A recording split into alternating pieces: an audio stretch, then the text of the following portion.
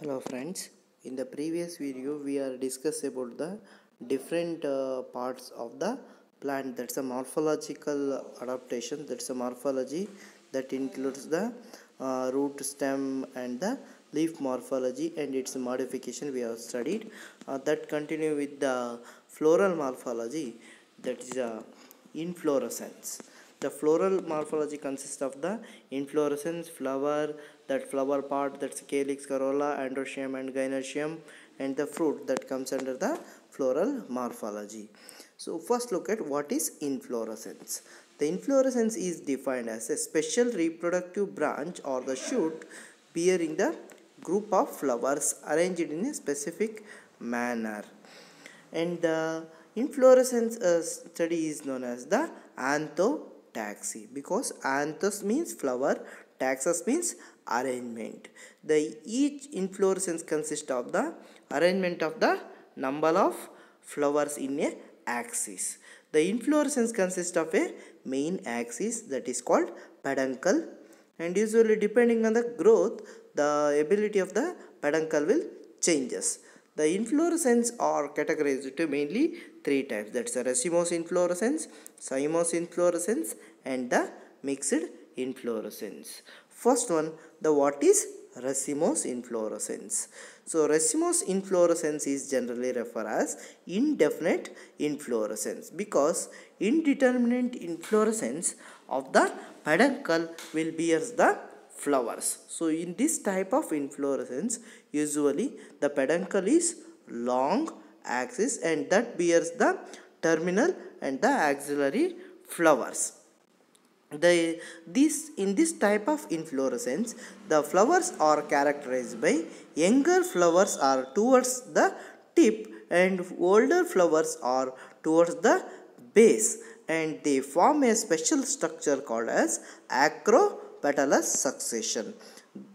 In this type of succession the older flower at the base region and usually the tip consists of the younger flowers so again these racemose inflorescence are further divided into a different type. There's a simple raceme, compound raceme, spike, spadic, catkin, so umbel, so head and the capitulum. The one by one we can look it out.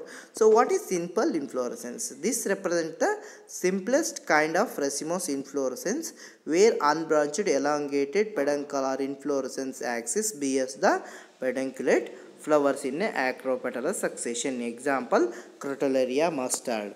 The next one is a compound uh, racemose. This is known as the panicle inflorescence. So, example for this Mangifera indica. All of you seen the mango flower. That is a complex uh, structure will be there. That's called as compound raceme spike. This is type of another type of inflorescence, racemose inflorescence. Here, the sessile flowers on a arranged on a single uh, stalk or the single long axis. So here the flowers are sessile. There is no stalk will be present. Example amaranthus. The next one is a catkin inflorescence. Here the inflorescence became thin long peduncles and bears the unisexual flowers in a acropetalous succession. Example mulberry and also the euphorbia species. The spadix. So here the inflorescence is covered with the spathe. So usually the peduncle became thick and fleshy bearing the whole inflorescence with the spathe or the bract-like structure that is called as a spadic. Example Colocasia. Simple spadix and the compound spadix. Compound spadix you can find in um, Cocos nucifera. The next one is the corymb inflorescence. It is here the peduncle are compressed and shortened to produce the pedicellate flowers. So, okay, example is Caesalpinia pulcherrima. Next one, compound um, uh, corymb and the umbel. So, this is a special type of inflorescence. The axis uh, peduncle flowers are in a clusters. They form a umbel-like structure. That is, the younger flowers are certainly involucre, placed and older flower are the peripheral uh, region. They look like a umbel or the umbrella-like structure. That is, example is Centrella asiatica that's a coriander also is an example that's a compound umbel coriander uh, is a compound umbel the next one is capitate and next one is a capitulum or the head inflorescence. Here the head that's the Asteraceae members they consist of a long head. They consist of ray florets and the disc florets. These uh, ray florets and disc florets arrangement in a single head like manner. So that's called as a capitulum. Okay. So these are the types of racemose inflorescence. Next one is a types of cymose inflorescence. This is known as cymose inflorescence is known as a determinate inflorescence. Here the inflorescence axis is seasons to grow after a specific growth. Okay, that means here there is a determinate uh, inflorescence. The racemose inflorescence is a indeterminate inflorescence. Types of cymose inflorescence solitary cyme, simple cyme, monochasial, dichasial and the polycycle cyme. So usually we can look one by one. The first one is monochasial cyme.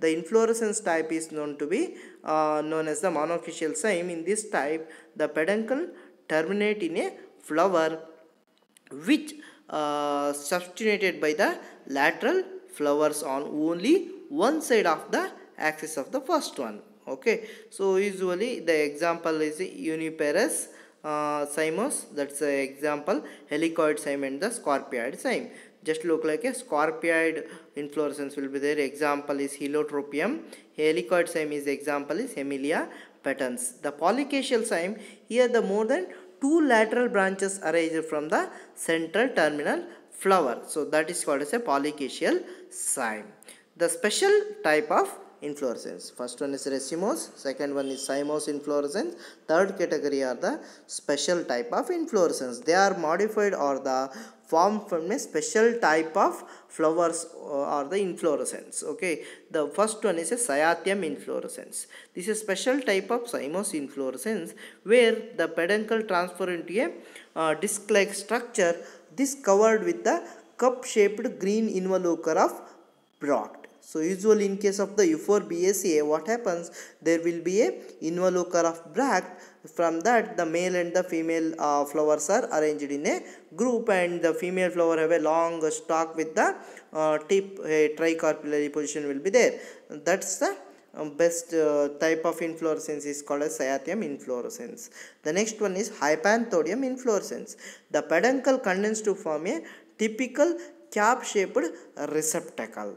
So the usual in case of the Moraceae uh, or in, case of ficus especially the male and female flowers are uh, covered with the special uh, cavity like structure uh, that is called as a hypanthodium. Example is ficus. Next one is a verticillaster.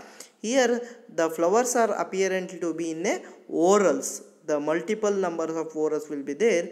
Axis of the each leaf simple arranges and each one again the monochasial cyme will be present. Just to form a cluster they look like a verticella star. Example is Leucas aspera. Next one is a thyrsus inflorescence. Here that's characteristic both of the racemose and cymose inflorescence. That's commonly occurs thyrsus inflorescence in Lamiaceae. Example is Ocimum sanctum. So these are the different types of flowers. That's a racemose, cymose and the compound or the complex type of inflorescence. Those are uh, called a special inflorescence. Thyrsus inflorescence, verticella star and also the hypanthodium and the cyathium. These four are the special type of inflorescence. So this is a general account on the types of inflorescence. So in the next video so we can discuss about the flowers and its characteristic.